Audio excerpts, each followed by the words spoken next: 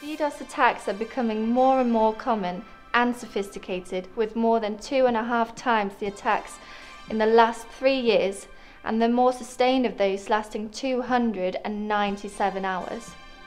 DDoS attacks flood your network resources and block real users from gaining access. Attacks can take a variety of forms, including a combination of high volume and subtle attacks targeting bandwidth, infrastructure, and applications.